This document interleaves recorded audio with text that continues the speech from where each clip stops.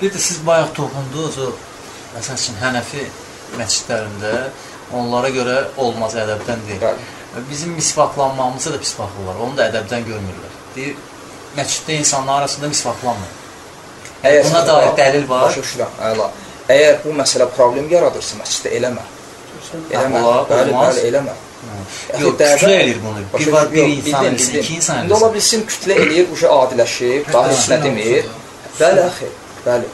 Dəvət axı hər şeydən önəm, önəmlidir. Yəni sən fərz tərkləmirsən ki, o misvakı dəstəmaz alanda da istifadə edə bilərsən, düzdürmü? Ya məscidə girməmiş də edə bilərsən. Yəni önəmli olan dəvətdir. Yəni mən sizə deyim ki, bu prinsiplə biz Biləcərdə dəvətə başladıq, hə? Məscidin bütün cəmaət, hətta imam belə sələfi oldu. Sonra ki, misvakı onlara başa salmaq üçün onların yanında Hə, sonra məsciddən çıxartdılar. İmam tövbə elədi, subhanallah. Yəni o cür imam.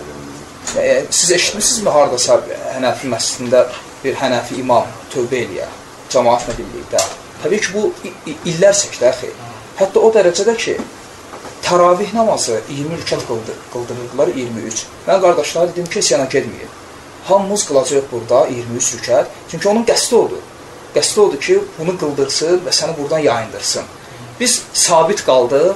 Sonra hətta özləri, öz cəmaatının içərisində olan qocalar dedilər ki, güc çatdıra bilmirik, qoy 11-ə endirilsin. Və sonra elə oldu, gələn il tam sünnəyə uyğun 11 rükət, yəni vitirdə qunut, 4 rükətdən sonra istirahət, tam sünnəyə uyğun ibadət getdi, tam Ramazan. O belə. Dəvət bu önəmlidir. Yəni sən orada nəyisə etməyə bilərsən, sünnədə nəyisə tərk edə bilərsən.